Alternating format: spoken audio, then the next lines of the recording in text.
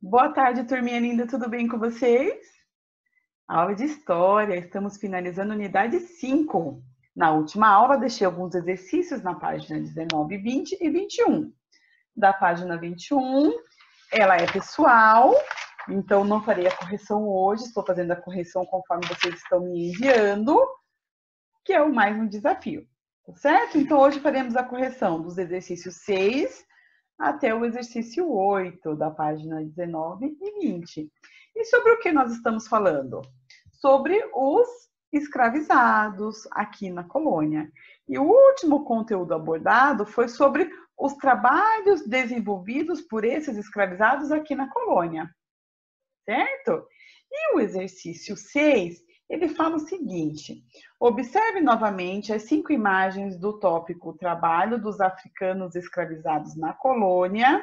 Em seguida, faça o que se pede. Então, eu coloquei aqui um slide com essas imagens. Vamos observar juntos. Então, a primeira imagem, o que, que ela está mostrando? O engenho de açúcar.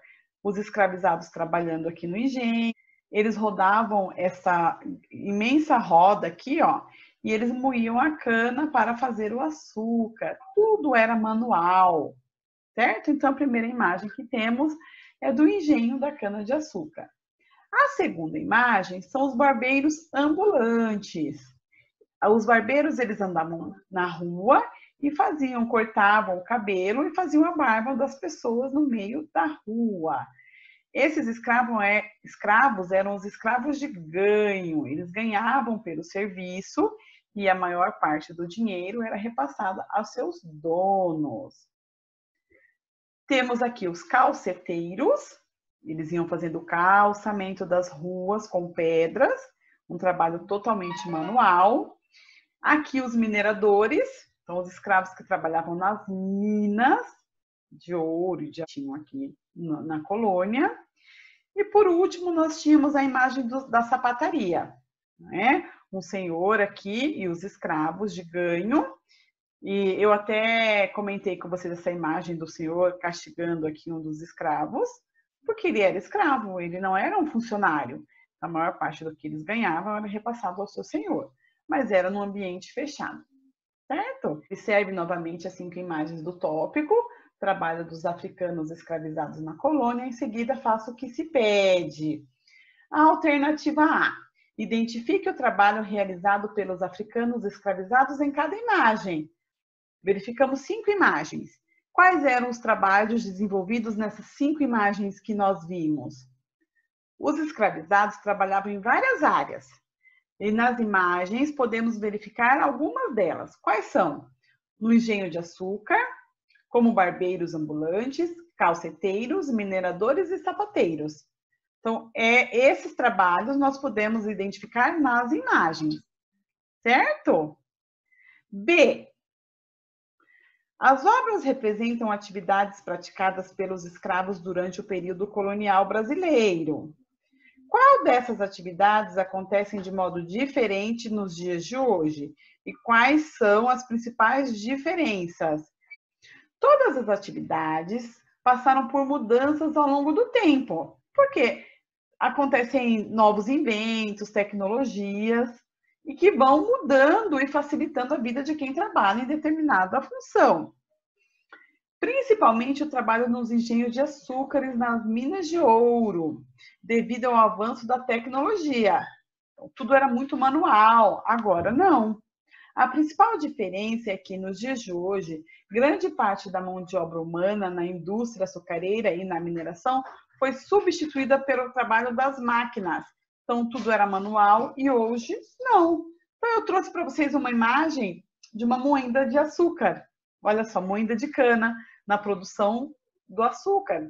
Quando a gente toma uma garapa, por exemplo, na feira, aquela moendinha que a gente vê lá o tiozinho fazendo, uh, colocando, a, colocando a cana, que vai virar o caldo, porque é daquele caldo que se faz o açúcar. Não é mais manual. Então, nós temos ali é, o uso da tecnologia. Tá bom? Então, a tia Edna colocou essa imagem para exemplificar. B. Faça uma pesquisa na internet para descobrir o que fazem os calceteiros, O que fazem os calceteiros? Anote suas descobertas a seguir. Então, o que, que eles fazem? Os calceteiros são aqueles que trabalham no calçamento de ruas e calçadas. No século XIX, em especial, os calceteiros faziam revestimento de calçadas com as chamadas pedras portuguesas, formando mosaicos e desenhos. Certo? Então, eles faziam o calçamento. Não existia a tecnologia de hoje, que faz o asfalto, então tudo era calçado pelos calceteiros, as ruas e as calçadas com pedras. Certo? D. A profissão de calceteiros continua existindo? Quais são as diferenças em relação aos dias de hoje? Elas existem, sim. Hoje, por exemplo, aqui no meu prédio, é, eles estão trocando o calçamento. E aí são os calceteiros que estão fazendo isso. É verdade. Hoje em dia, essa profissão ainda existe. Porém, é notável a mudança nas ruas e calçadas. As ruas são asfaltadas por máquinas e por meio do trabalho de alguns homens que uniformizam o asfalto. Então, o asfalto é uniforme, ele não são várias pedrinhas. Entenderam? E aqui, olha, eu coloquei para vocês a imagem dos homens trabalhando, fazendo calçadas, os calceteiros, olha aqui, ó. Então, eles colocam pedrinha por pedrinha. E aqui nós temos o exemplo dos mosaicos, como eu acabei de falar. Então, ainda existe, tá bom? Não é uma coisa do passado, não. Então, quando a gente quer ver um desenho bonito numa calçada, é feita por esses profissionais, que não são mais escravos, são pessoas que recebem pelo seu, pela sua mão de obra, tá bom? E, e o trabalho dos sapateiros e barbeiros continua como na época em que as obras foram produzidas? Os barbeiros continuam trabalhando na rua? E os sapateiros? O que, que vocês me dizem? Hoje em dia, não é permitido que barbeiros trabalhem nas ruas, devido às leis de comércio estabelecidas pelas prefeituras de cada município. Por isso, existem as barbearias e os salões de cabeleireiros. As sapaterias continuam existindo, como a imagem representa, em ambientes fechados. Sapataria já era em estabelecimento fechado e continua em estabelecimento fechado. Agora, as barbearias não, agora elas não são na rua, os barbeiros não trabalham na rua, elas têm que trabalhar num, num estabelecimento comercial, certo?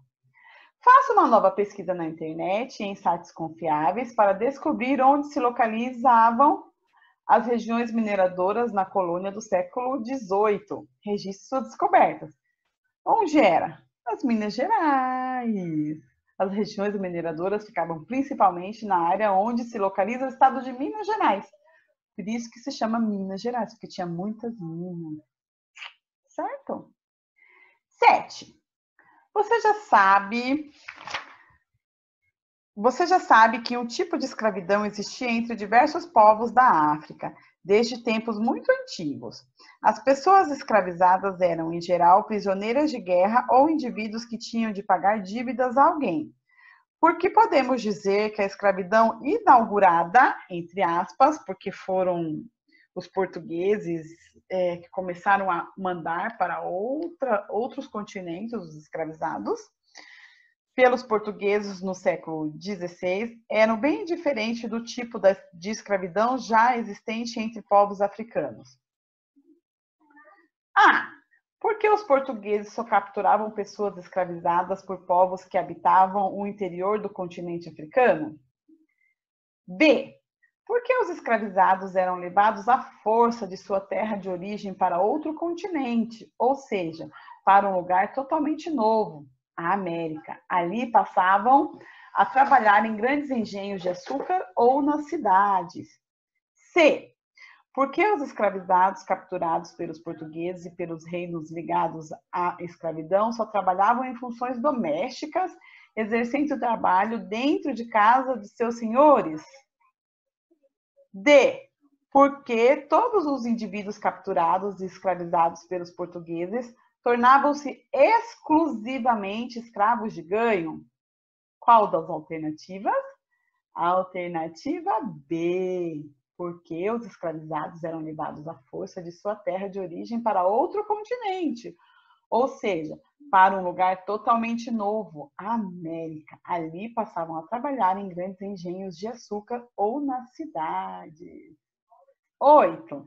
Faça uma pesquisa e explique o que foi a chamada diáspora africana. O que, que foi essa coisa horrível? Hum? Diáspora africana é um termo utilizado por historiadores para nominar o fenômeno histórico e social caracterizado pela movimentação forçada de milhões de pessoas do continente africano para outros lugares do mundo. Essa movimentação aconteceu pelo Oceano Atlântico e essas pessoas foram vendidas como escravos em outros continentes. Então, foi a retirada dos africanos do seu continente e levados à força a outros continentes, forçados a trabalhar como escravos. Certo? Como eu disse, na página 21, o mais o desafio é individual. Estou fazendo a correção através do que vocês estão me enviando. Um grande beijo e até a próxima aula.